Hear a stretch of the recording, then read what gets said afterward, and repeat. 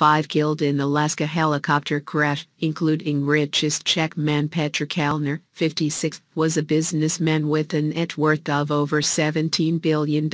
according to the Forbes 2020 list of the world's richest people a contracted helicopter carrying guides and guests from Lodge on a heli skiing trip in Alaska's backcountry crashed, killing the pilot and four others, including the Czech Republic's richest man. The only other person on board was in serious condition, but stable Sunday at an Anchorage hospital. Alaska state troopers said the five killed in the Saturday accident were identified as Petr Kellner, 56, and Benjamin Larochaix, 50, both of the Czech Republic, Gregory Harms, 52, of Colorado, and two Alaskans, Sean McMannany, 38, of Girdwood, and the pilot, Zachary Russell, 33, of Anchorage. Troopers said Sunday the five passengers included three guests and two guides from Tordrillo Mountain Lodge, said company spokesperson Mary Ann Pruitt Kellner was a businessman with a net worth over $17 billion,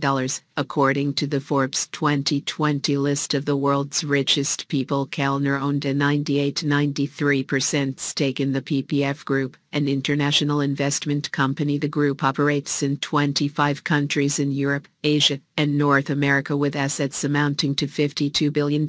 44 billion euros. PPF Group confirmed Kellner's death. Kellner and Larochaix were loyal and frequent guests at the lodge, Pruitt said in an email to the Associated Press Harms was a pioneering heli-ski guide in Alaska and worked for many years at the lodge. Pruitt said Greg was one of the most experienced guides